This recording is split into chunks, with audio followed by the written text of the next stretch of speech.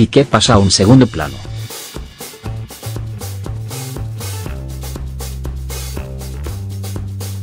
Ya sea por cansancio, por el buen juego de España o porque la gente tenía ganas de fiesta y no de jaleo, el asunto Piqué pasó definitivamente a un segundo plano en Alicante. El central siguió recibiendo pitos, no se puede decir lo contrario, pero la sensación que dejó su presencia sobre el Rico Pérez es que la mayoría está aburrida del tema, hastiada de un conflicto que ha enrarecido el ambiente previo a un partido fundamental hasta límites brutales, y cuya resolución en ciernes es la mejor noticia que se lleve Lopetegui, al margen de la clasificación.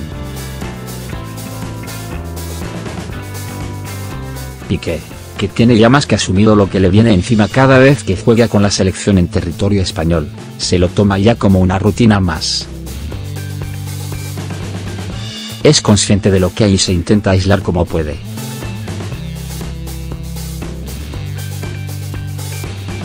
Su llegada al estadio, con los auriculares puestos y la mirada baja, ya dio un síntoma de lo que se iba a encontrar después. Al igual que en los días previos hubo una opinión dividida.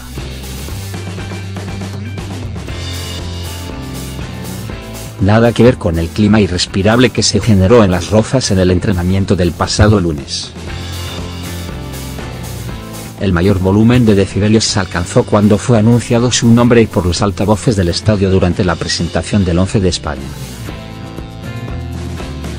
Y a partir de ahí, una y otra vez, el mismo ritual, resumido en unos pitos iniciales, de más o menos intensidad en función de la atención del público, seguidos de un arrebato espontáneo de aplausos como respuesta.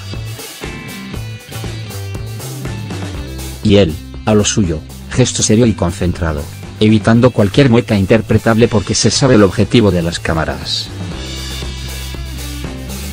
Sergio Ramos le buscó justo antes del pitio inicial para darle un abrazo que viera todo el estadio. Un abrazo sincero entre amigos, o entre socios.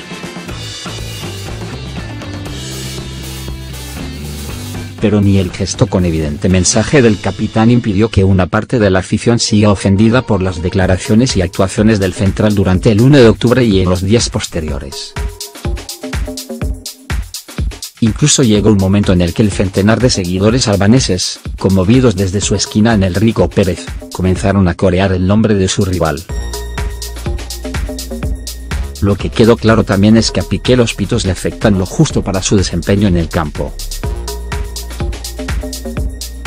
El azulgrana se contagió del buen tono general del equipo. Es cierto que no tuvo excesivo trabajo, pero en general controló bien a Grezda y Memoya, los esforzados delanteros albaneses.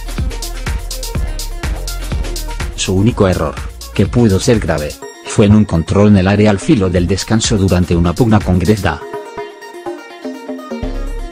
se jugó el penalti al intentar recuperar el balón y protestó airadamente al árbitro al considerarse él víctima de la falta. Piqué llegaba al encuentro apercibido y recibió una amarilla al inicio del segundo acto, por lo que no jugará el lunes ante Israel en el cierre de la fase de clasificación. Al poco era sustituido por Nacho en un acto que se convirtió en el juicio final de Alicante con el jugador. Ahí los aplausos ganaron por amplia mayoría, y el jugador respondió parándose en la línea de banda y correspondiendo el gesto de la misma manera. No hay redención absoluta, pero sus explicaciones del pasado miércoles y los continuos mensajes de apoyo de sus compañeros han mitigado la polémica. Visto lo visto, con el objetivo cumplido y eximida su presencia en Jerusalén, la tensa relación entre Piqué y los aficionados debe quedar en el olvido al menos hasta el próximo año, donde llegará un nuevo examen en función de su comportamiento y sus palabras. En los próximos meses se verá si la hostilidad de estos días y el hartazgo de sus compañeros por defenderle cambian su actitud, porque aún le quedará algún amistoso en España antes de viajar a Rusia para vivir, si nada cambia sus últimos momentos como internacional.